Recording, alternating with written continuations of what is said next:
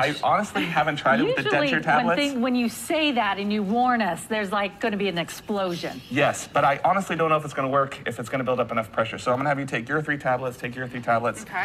I'm going to put these into here. We're going to toss them in. Oh boy. Toss them right into that Oh, container. There's okay, water. right in there. And what we're going to do is I'm, I'm going to have you. up. I'm going to have put some water in yours. Go ahead and cap that really quick, Okay, Liza. okay, okay. Because what we want to do is we want to try to capture the pressure that's being built, that gas. And if we're lucky, if we're lucky, we might have an eruption. Oh, See, oh. did you hear it? Oh my gosh, I did. Yeah. I should probably put my goggles on too. Oh boy. We have goggles on. I mean, what We could happen? goggles, yeah. Like, what can go wrong? Nothing can go wrong here.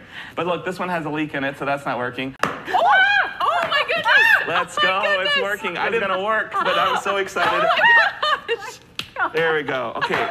So It won't stop. it's working. And the best part is, the best part is, I wasn't sure if it was gonna work. Oh, this Oh, was a, that's great.